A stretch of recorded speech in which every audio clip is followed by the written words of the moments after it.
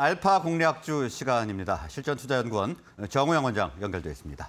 자, 원장님 나와 계신가요?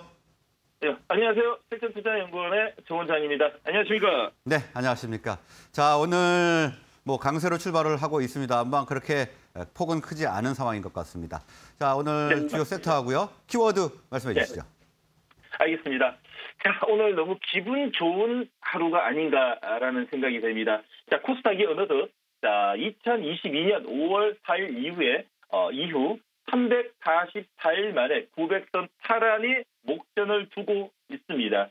어, 제가 이 방송을 통해 가지고 어, 우리 이데일리 어, 여러 다른 방송을 통해 가지고 12월 중순 말에 제가 어, 다른 사람들이 우려와 달- 달리 2023년 상반기는 정말 어, 좋은 장이 될 것이다. 여러분들 정말 어, 많은 돈을 좀 벌어야 된다. 이런 농담 삼아 이야기 좀 드렸는데 아, 특히나 어, 작년 어, 12월 말에 690은 이제 못 본다. 그리고 2월 중순에 850은 충분히 간다. 그리고 어, 2월, 아, 3월 초에 가뿐히 900선은 넘는다. 여러분들 주도주 종목에 집중을 하자. 거래소 아닙니다. 코스닥에 집중하셔야 될 시기가 왔습니다. 라고 설명해 드렸는데, 자, 어, 약속을 지킨 것 같아가지고, 제가 한 말에 대한 약속을 지킨 것 같아가지고 너무 기분 좋고요. 특히나 오늘은, 어, 지금 밀리고 있습니다. 사실상. 자, 아침 일찍, 어, 에코프로의 보고서로 인해 가지고, 자, 전기차 섹터의 전체적인 사이즈가 갭상승 음봉이 나고 있고, 오히려 더 어제 좋았던 전기전자 반도체는 갭상승의 음봉이 나고 있습니다.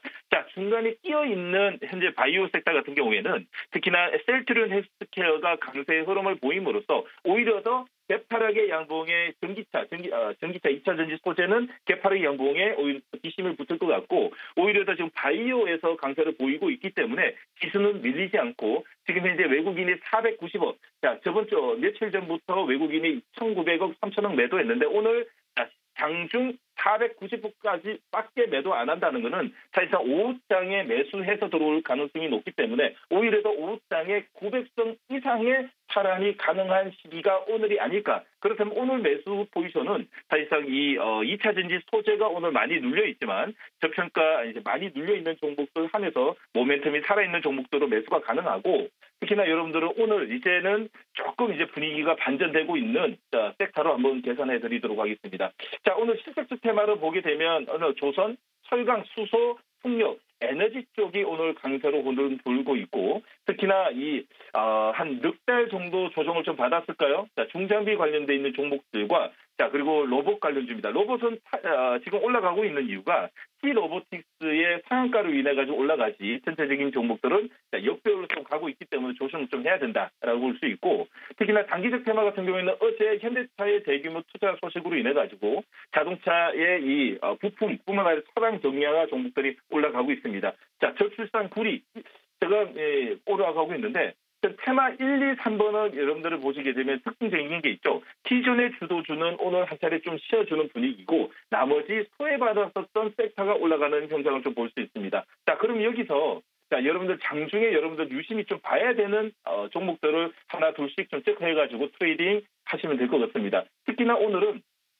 삼성중공업이 자 60일선 돌파인 candle이 나오고 있습니다. 자 60일선 돌파인 candle에서 안착하는 자리에서 여러분들이 어, 매매하시면 될 것 같고요. 대우조선 아, 대우조선해양 같은 경우에 추세를 돌려놓은 자리이기 때문에 long position으로 보면 될 것 같습니다.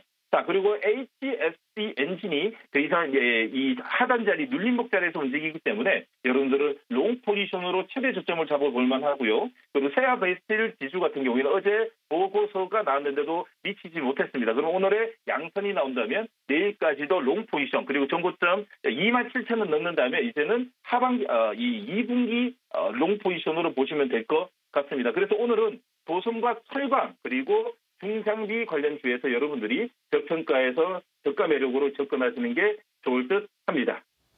네, 코스닥 시장 아, 작년 5월 이후 거의 1년 만에 지금 900선을 바로 눈앞에 두고 있는 상황이다. 아, 키워드로 제시를 해 주셨고요. 다음은 공략주도 알아보도록 하겠습니다. 자, 오늘의 공략주입니다. 오늘의 공략주는 케어젠입니다. 자, 케어젠 아침 일찍 노무라에서 어, 정말, 어, 이 좋은, 어, 레포트가 나왔는데, 사실상 이 지금 우상향 패턴이 나오고 있는 자리에서 나오다 보니까 여러분들이 부담스러워 할 수는 있지만, 역시 주식은 우상향, 신고가 매매를 하셔야지 여러분들이 큰 수익을 얻을 수 있다라는 오늘 어, 이 교훈인 것 같습니다. 자, 노무라에서는 지금 목표가 지금 한 30만 원 가까이 나와 있는데요. 지금 22만 9천 오늘 9%가 올랐습니다. 자, 오늘 어, 사실상 이 장중에 따라 붙긴 좀 그렇고요. 자, 종가 기준으로 봐야 되는데 어떤 내용인지 보도록 하겠습니다. 자, 회사는요. 자, 펩타이드 바이오 기업이라고 볼 수 있고 올해 매출 지난해 매출 어, 올해 매출은 지난해 매출의 두 배 넘는 1,500억 이상으로 볼 수 있습니다. 현재 어, 11개 국가에 1조가 넘는 어, 수출 공급 계약을 체결되어 있고 사실 가파른 성장을 기- 어, 되고 있는데 지금 현재 분위기로는 어, 없어서 못 파는 분위기로 가고 있다라고 볼 수 있습니다. 자, 캐러딘 같은 경우에는 자, 장- 지금 현재 어, 매수가 들어오고 있습니다. 그러나 지금 9%대이기 때문에 여러분들에게 자, 9%까지 올라간 종목을 지금 어, 매매한다는 건 사실상 조금 아닌 것 같고요. 양선이 나오는 자리 밑에 꼬리에서 여러분들 접근하시는 게 좋고 종가 기준 아니면 내일 음봉 공략이 좀 좋을 듯 합니다. 자, 목표가 바로 가도록 하겠습니다. 목표가 25만 원에 손절가 20만 원 두고 여러분들이 오늘과 내일 양분의 양 이틀 동안 나누어서 자, 분할 접근하시는 게 좋을 듯 합니다. 네, 오늘 공략적 케어전 분석을 해주셨고요. 목표가 아, 보시는 대로 25만 원, 손절가 예. 20만 원 제시를 해주셨습니다. 자, 오늘 말씀은 여기까지 듣겠습니다. 고맙습니다. 여러분들 행복하십시오. 고맙습니다.